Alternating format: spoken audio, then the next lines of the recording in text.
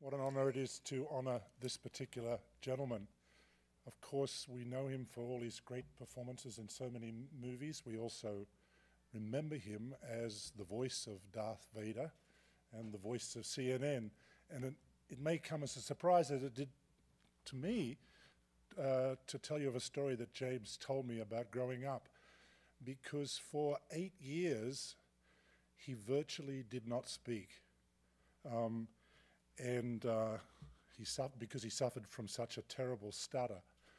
That, in contrast to the voice that we now know. As a child, um, it was my dream uh, not to direct movies, but to play the violin. I wanted to play the violin because it seemed that that instrument was by far the most expressive, um, capable of conveying the widest possible range of emotions, and I, I guess getting to the heart of the matter. Well, that dream never did come true for me.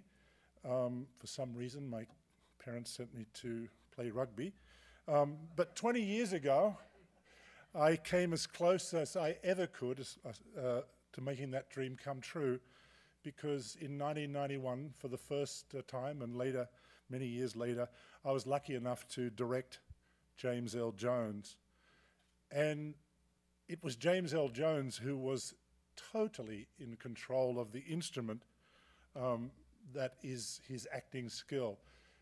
Um, I used to call him the Stradivarius of uh, film actors.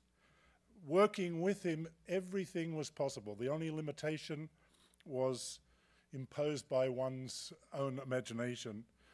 And for an Australian director, fresh off the Flying Kangaroo from Sydney, um, it really was a dream come true to be handed him as an actor in Patriot Games. I didn't cast him. That had been done before me for The Hunt for Red October by uh, my friend Mace Neufeld, and who sends his love and his love to James. But back to those violin lessons.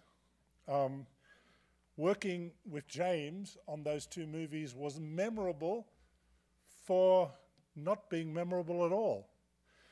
By that I mean that all the drama was in front of the camera, not behind the camera. We shot our scenes so quickly, remarkably easy, with a minimum of fuss, a maximum of choice to the director later in the editing room. And James taught me so many things. First of all, that film acting is about making a whole host of possibilities, of performance possibilities. That an actor, as much as a director, is a storyteller.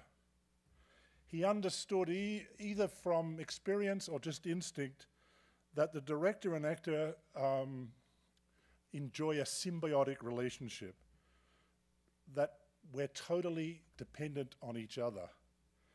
And uh, as a director, one felt completely empowered by him personally and by his performance he just energized you with um, this calming strength um, of his presence, and he just filled you with confidence in whatever you were doing. You, you really did feel like you had the power. Um, and afterwards, when I got into the editing room, that was when I really appreciated the gift that James had delivered to me. Every take was first and foremost utterly real and, and human.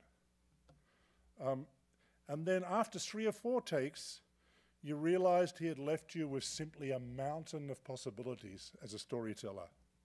Without quite realizing it, you, the director, had become the equivalent of a great violin player with a performance that had all the light, the shade, and emotion that that instrument could ever yield. So I'd like to say thank you to James uh, for being an inspiration and a teacher to us all, and also to offer my congratulations for this Oscar that he so rightly deserves.